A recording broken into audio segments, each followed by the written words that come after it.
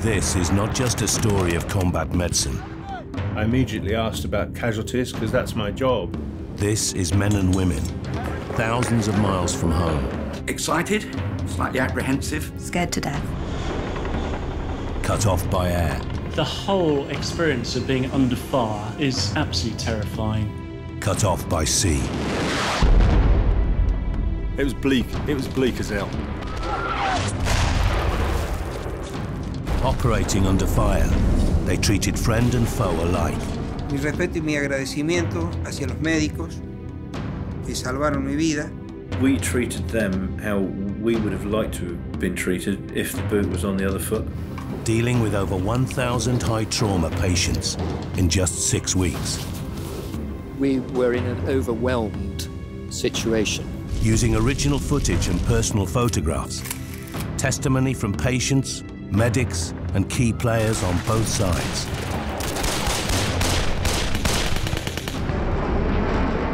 Teníamos tres minutos del de, ataque y otros tres minutos para escapar rasantes.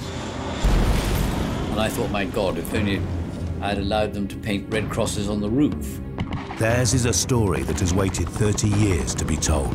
I had broken down and wept. This is the story of the Falklands combat medics.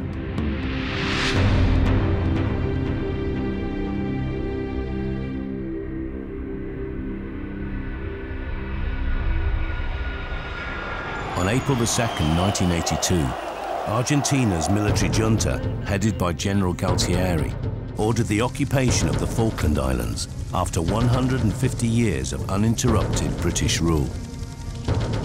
Facing overwhelming numbers, the British garrison surrendered, but not before sending a message over 8,000 miles to London. As military switchboards lit up across the UK, the fleet headquarters at Northwood went to full action stations. Within the hour, the message went out to the UK main battle group on exercise in the Mediterranean. Stand to on 48 hours' notice to go to war. The British military campaign to regain the Falklands had started. Codename Operation Corporate. Brigadier Julian Thompson was the man ordered to retake the islands for Britain. General Benjamin Menendez was the man ordered to hold the Falklands for Argentina.